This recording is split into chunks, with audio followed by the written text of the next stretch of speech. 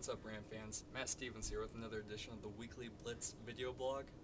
Um, just got back from CSU Media Day for volleyball. You know, got to talk with the team, see what their thoughts were on this upcoming season.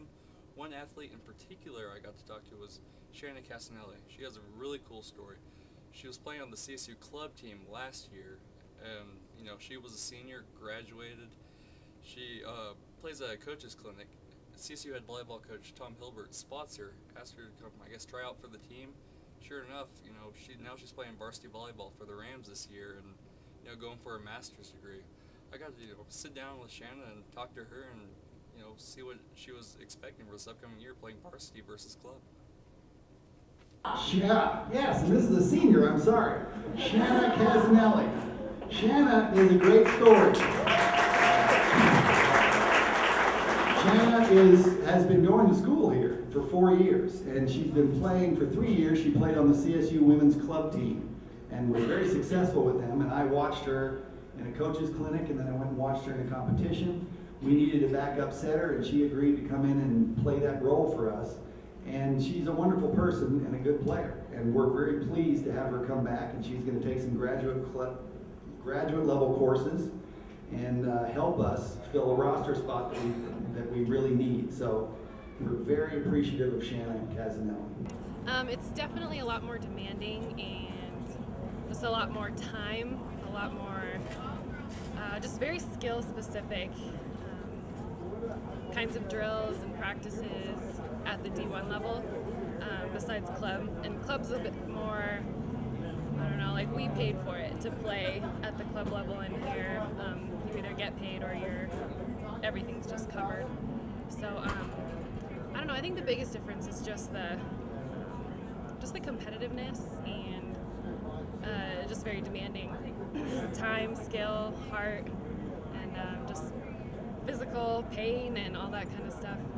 Um, was it like your dream, like being younger, to be able to play, you know, NCAA volleyball? Um, it actually kind of was. Like I, I always thought it'd be so cool, but I just kind of had my heart set on CSU, and um, just wanted to come to this school. So when Tom um, asked me to play uh, this year, I was so excited. Couldn't believe you know it happened. So I jumped on it. You graduated. Yeah. Right. Um, you don't mind coming back for another year just to, oh, to be able to play? I, I planned on getting my master's. Um, I didn't think right away, but um, I was planning on it, so everything just kind of worked out. It was just kind of a blessing that I don't know, everything kind of fell into place, so it worked out. You don't feel like uh, it's hard to get into like friends with the team? With are they already a tight knit group, and you were was it tough for you to come in and join that?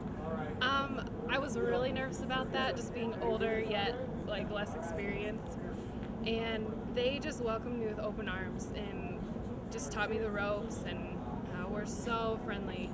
So these girls just totally take care of the new players and um, I just think it's a real, it's really important to them that they start building up the young players and they just treat me that way too. So they've made it awesome to be a part of. What do you, uh, what role do you think um, Shauna can come in and play for this team? She is gonna, she is already playing a big role, um, and she's a senior, and she has a lot of experience. She's married, um, which none of us know anything about, and already she has shown a lot of wisdom to our team. She's not afraid to speak up, and that's a good thing. You'd think uh, someone coming in for the first time would be kind of shy and timid, but she's not. And um, it's been nice and refreshing to get to know her, and I think she's going to play um, a big role for us in practice and um, play. She's a big piece of our team now. So.